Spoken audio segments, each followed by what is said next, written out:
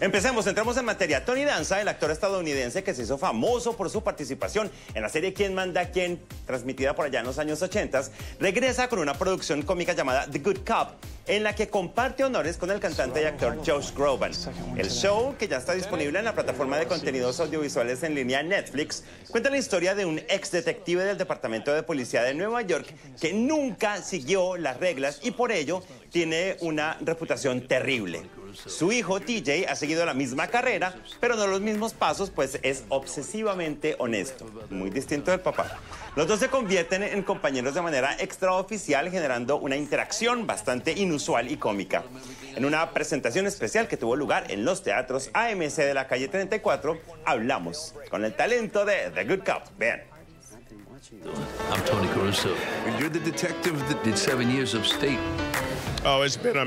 Ha sido increíble, de principio a fin. Desde el día en que todos nos reunimos para la primera lectura hasta el último día. Ha sido realmente increíble. Lo que me parece con este show es que todo el mundo se sentía confortable consigo mismo.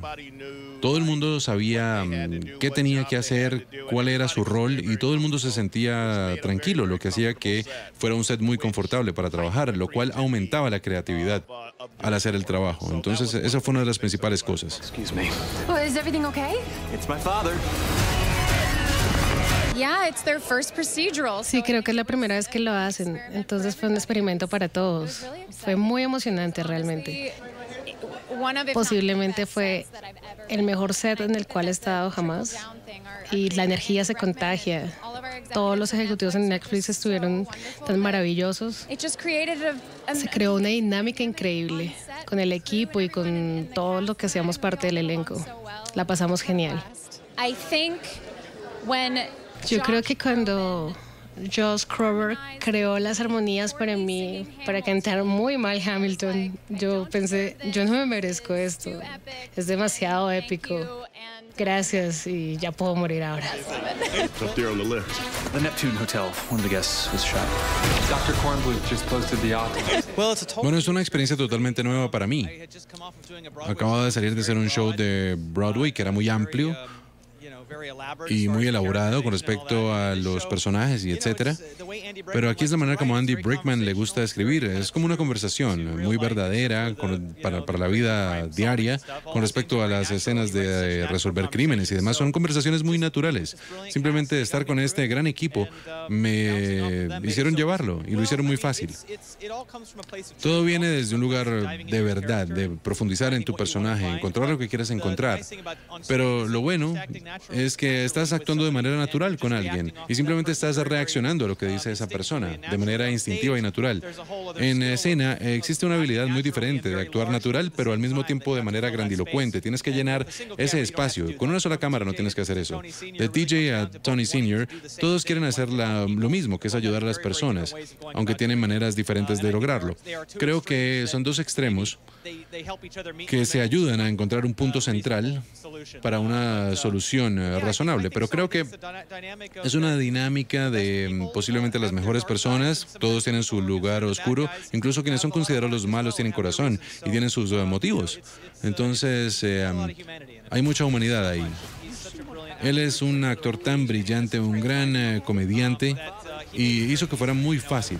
Era la primera vez que eh, hacía un rol como este y poder trabajar con él fue una gran alegría. Me daba muchas cosas buenas para trabajar.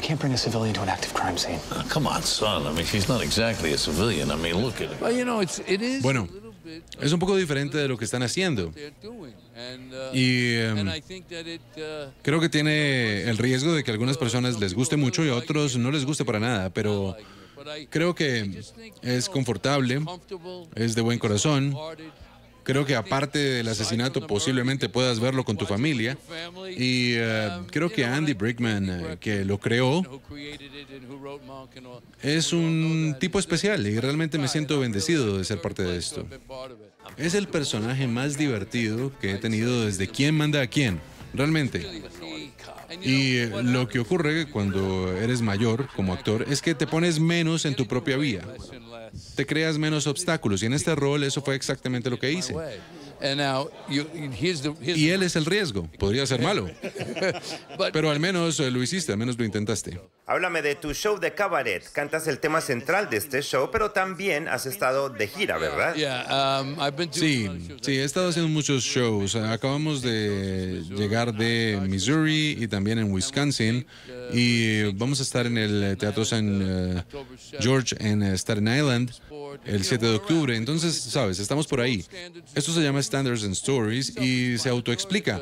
Es un poco de historias personales y profesionales reunidas alrededor de canciones tratando de evocar emociones para lograr conexiones con la audiencia. Y con ukelele. Y por supuesto, mi arma secreta, el ukelele. Y puedo tocarlo en el show. Y es lo más extraño, es lo que he estado diciendo. Como Josh realmente es muy bueno en las cosas físicas como las peleas y demás. Entonces, de alguna manera, voy a mostrar a un Josh Groban que él está peleando y yo estoy cantando. Entonces algo tiene que estar bien, es algo loco.